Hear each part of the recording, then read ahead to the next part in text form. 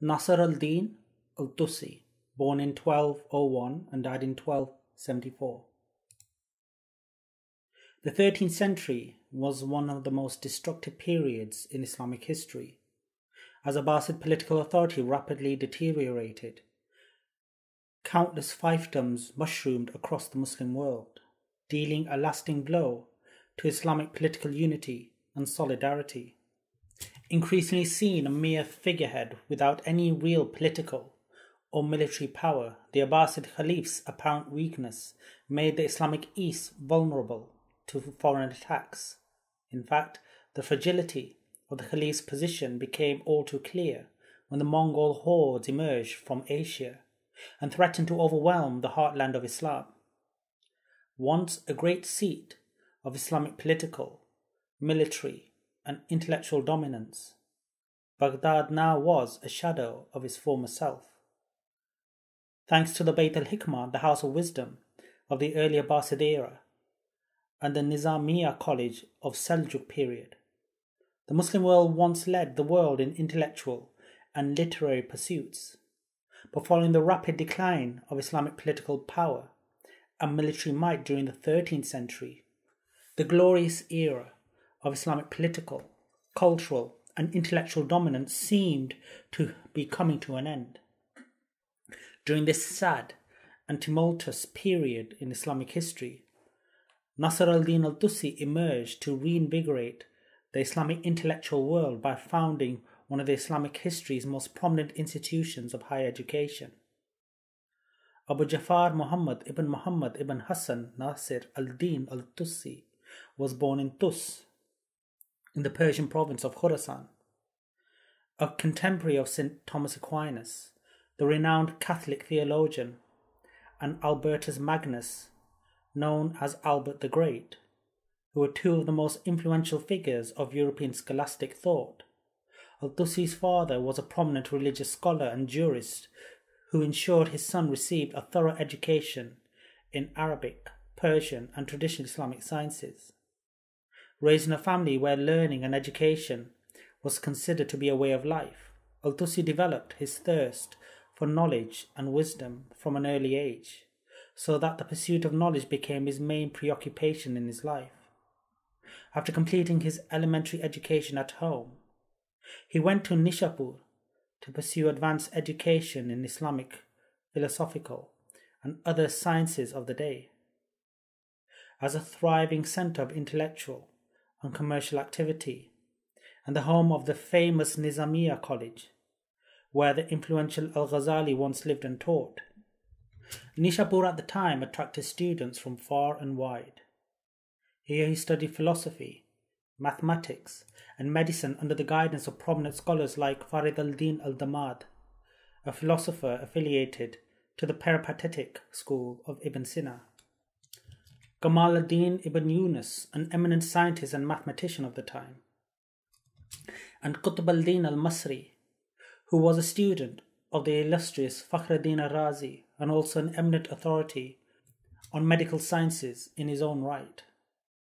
Known to have been a gifted student, Al-Tusi not only learned philosophy, mathematics, astronomy and other scientific subjects of his day, but also mastered the traditional Islamic sciences and received ijaza or certification, the equivalent of a modern university degree in Hadith, prophetic traditions, when he was barely 21.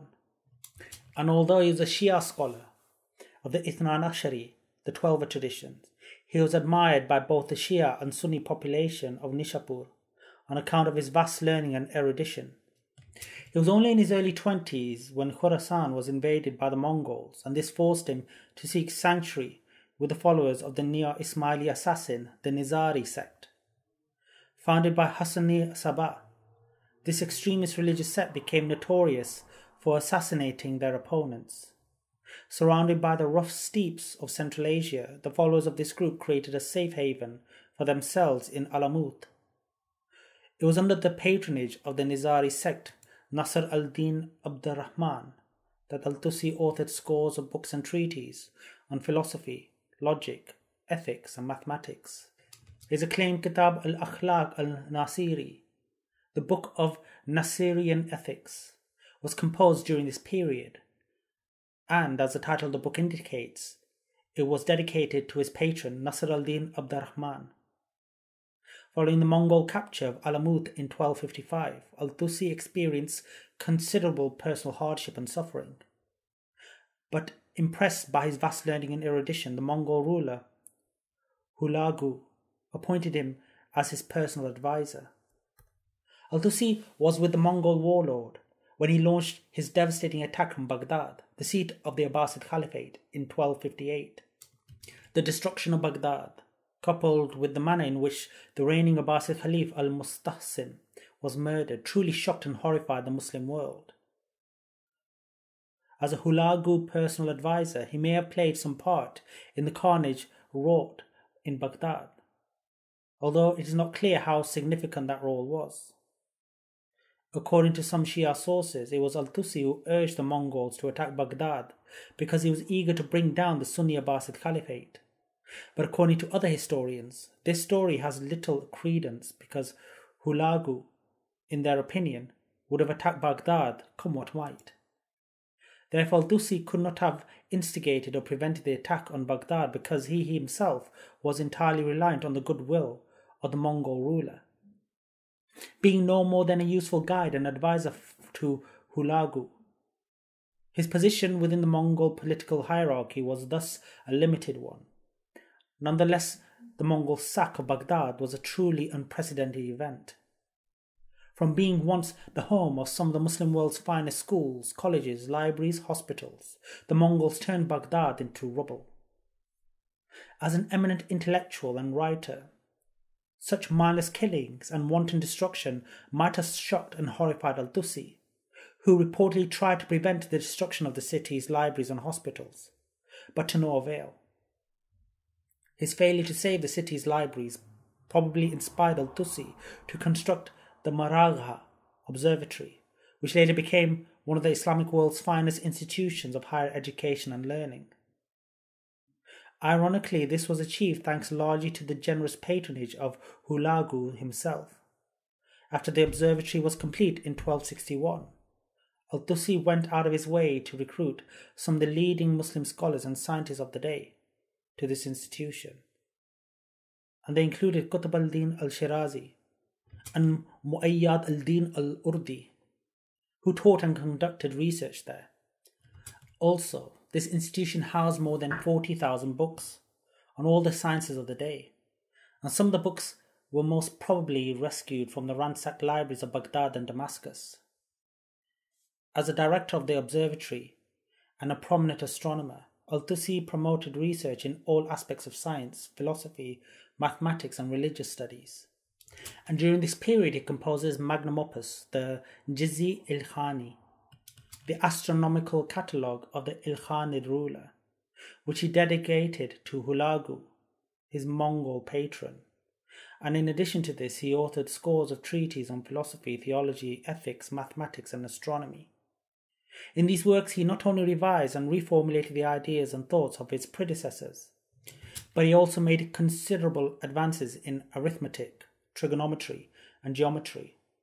Most significantly, in the field of astronomy, he proposed a new theory of planetary motion, which was different from the Ptolemaic theory, and which later inspired Qutb al-Din al-Shirazi, Ulugh Beg, Ibn al-Shatir, and Copernicus to formulate their own theories of planetary motion. Although Copernicus is today considered to be the first person to have formulated the heliocentric theory, there is no doubt that the astronomical ideas and thoughts of Al-Tusi and his successors profoundly influenced him. As Victor Roberts, a noted historian of science, has pointed out in his research paper, The Solar and Lunar Theory of Ibn al-Shatir, published in 1962.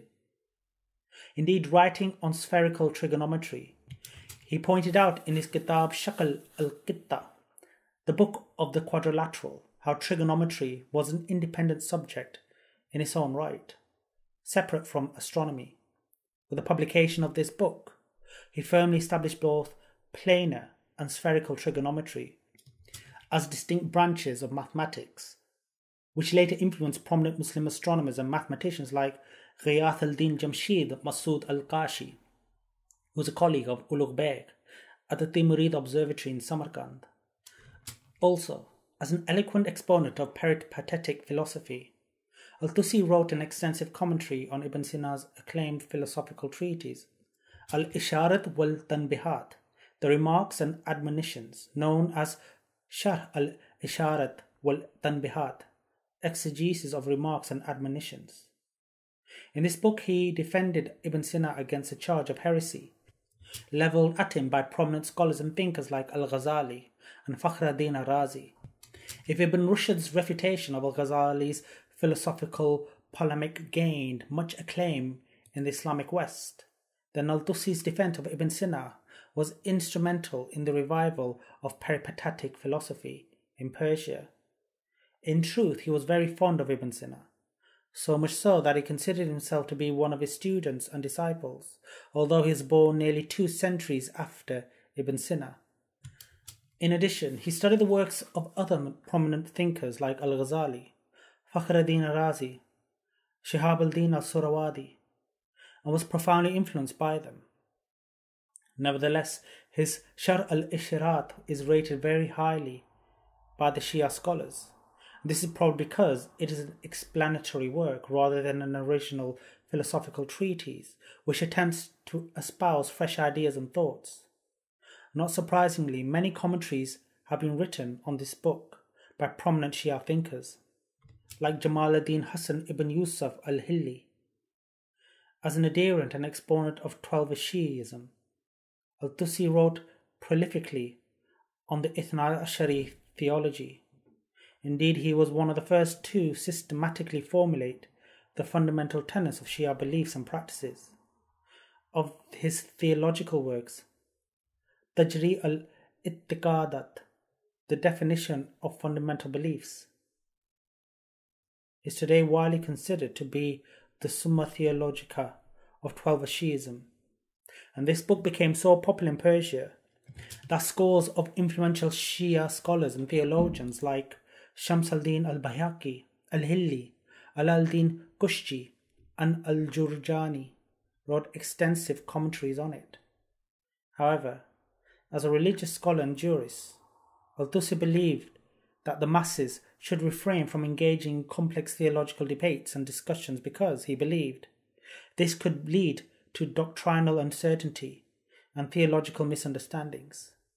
Only those who were well versed in the religious sciences were, in his view, qualified to engage in such debate. Indeed, he urged the masses to fulfill their religious obligations and live their lives in accordance with the Sharia leaving the onus of interpreting and formulating the Sharia to the religious scholars, the ulama, and the jurists, fuqaha.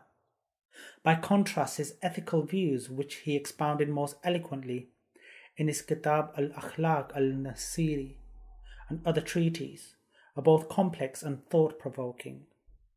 Influenced by the works of Aristotle, Al Farabi, Ibn Miskawayh, and Ibn al Muqaffa, on the one hand, and the ideas and thoughts of ancient Persian and Indian philosophers and sages on the other, he developed a comprehensive and universalistic ethical philosophy.